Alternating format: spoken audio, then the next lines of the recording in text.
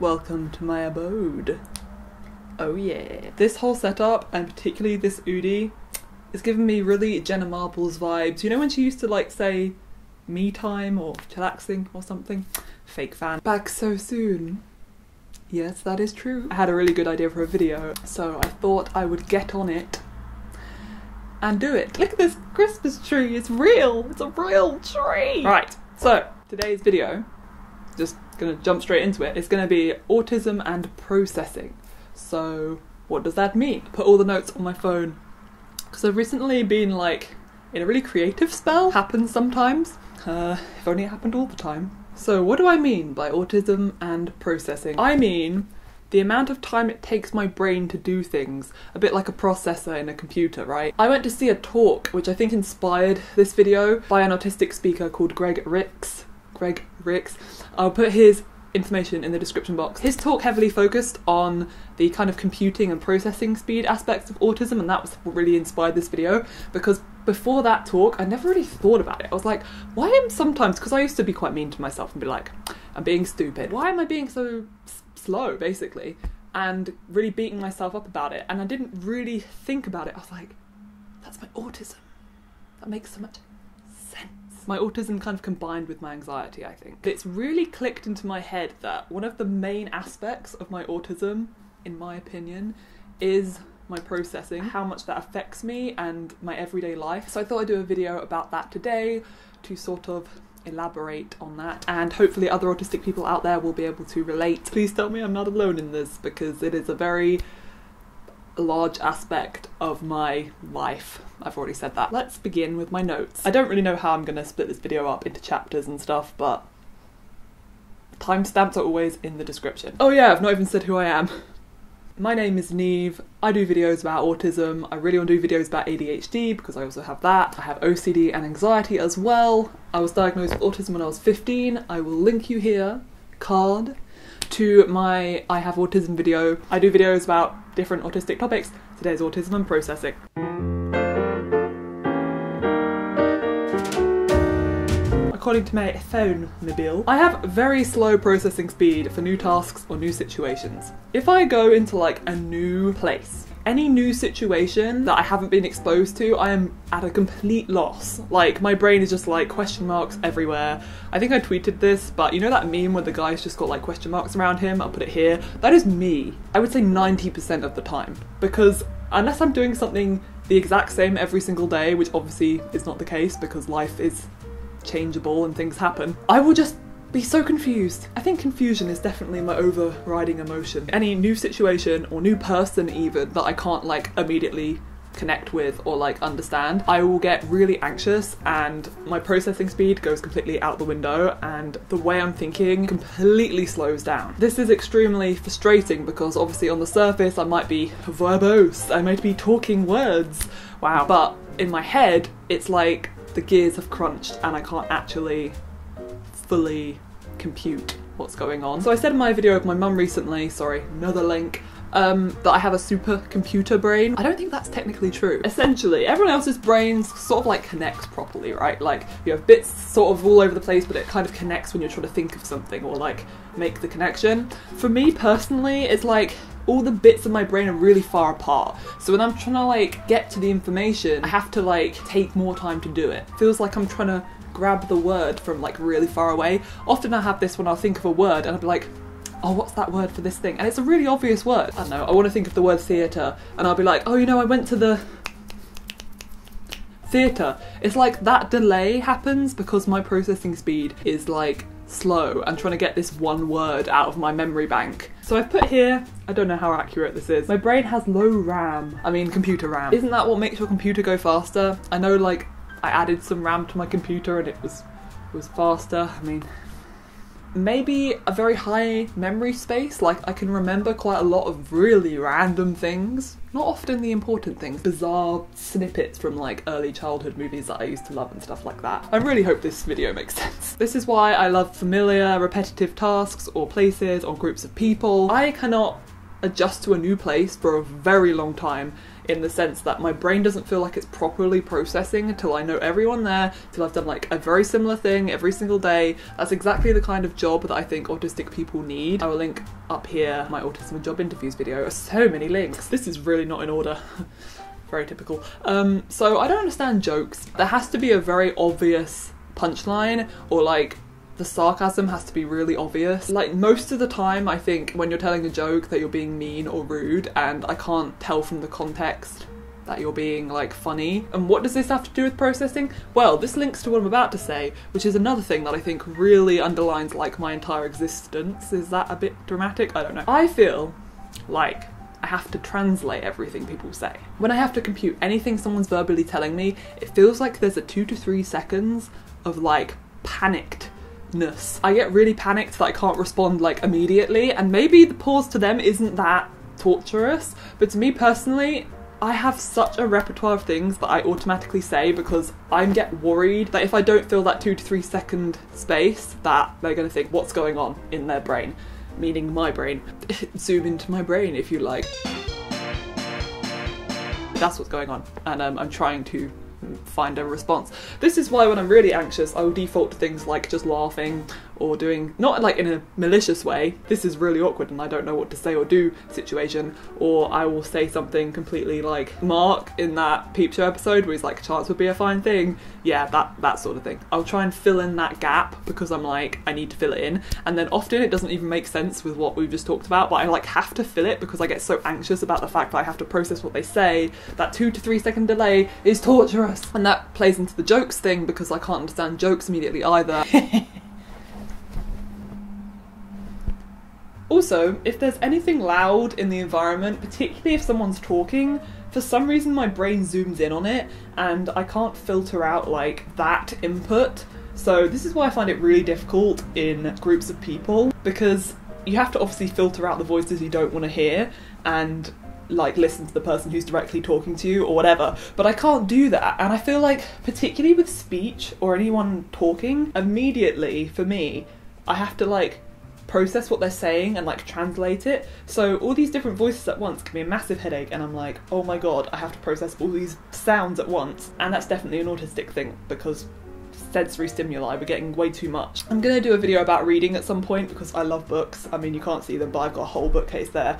Basically, if there's anything involving words, I think my brain just latches onto it, which might be why I feel like I have to read everything that I see. Like, if there's a word, I will read it. If there's a road sign, I will read every word on it.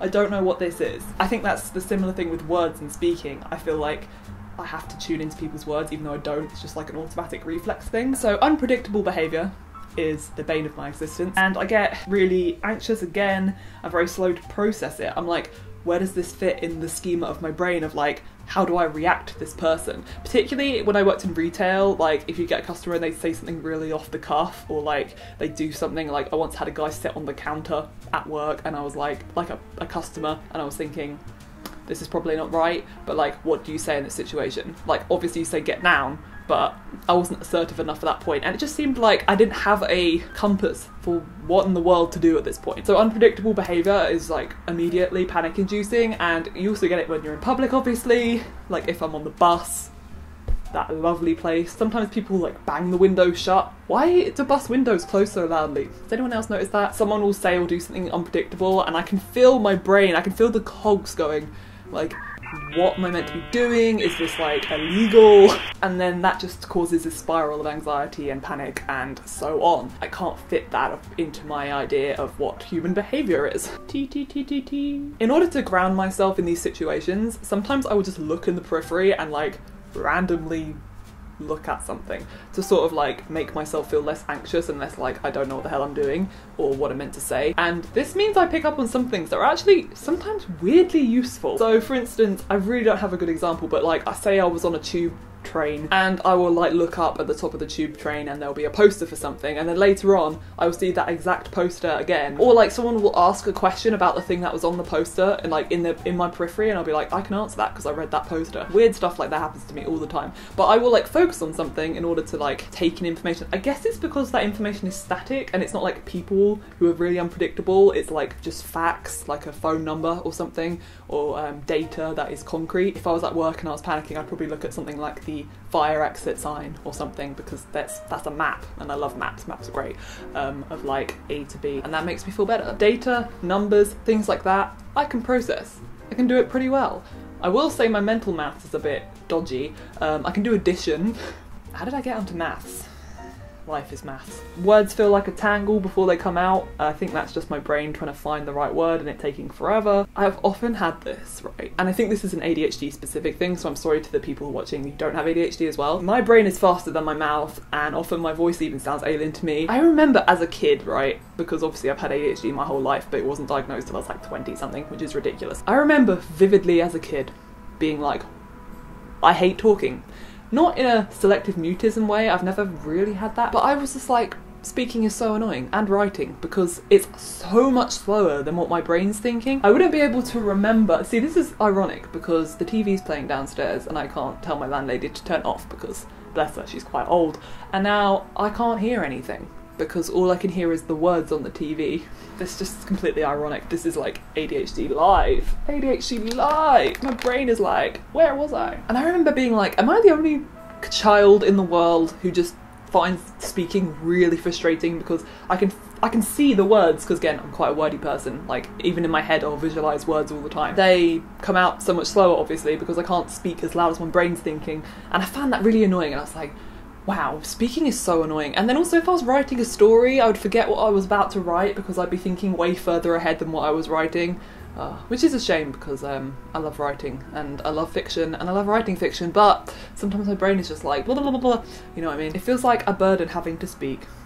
Instructions have to be in order in order for me to process them properly, like a bit like a, a computer or a machine. You know, remember in maths in secondary school you'd have to do the bod BODMAS or something. There was some program that my maths teacher did like every lesson and it was really basic and I was like, why are we doing this? But it was like one box goes into another box and then you get the answer. My brain is like that though. I have to have like A plus B equals C. This is why I like computers, I think, as well, because obviously computers are a binary code. They're like you click on a button, it does something. And that can make a lot more sense to me in my brain than nuances and if there's like exceptions to the rule and stuff. I don't really have a very good theory of mind, and theory of mind means that you can't imagine what other people are thinking because you're only able to visualize your own thoughts.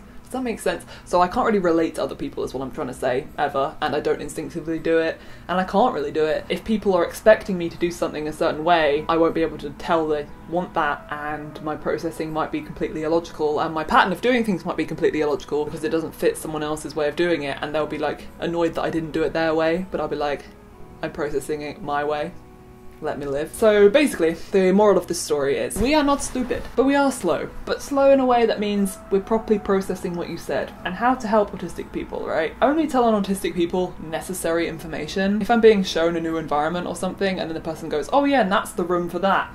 I will like think that's immediately relevant when it's not, and I'll probably think of that all the time, and it will just circulate through my head, and I might not even ever need to use that room that they just pointed out for no reason. So just stick to the like necessary information. I need space and time to process, so give us a bit more time to process stuff. Freedom to ask as many questions as possible. Things don't often make sense to us, so freedom to ask as many questions as possible until the thing is fully implemented into our brain so we can process it well and stuff. Written instructions or visuals. So when I was at school, we had to do food tech. Fun. Um, to some people that is fun, but for me it was terrible. Unless something is ordered in a orderly way, I won't be able to process it.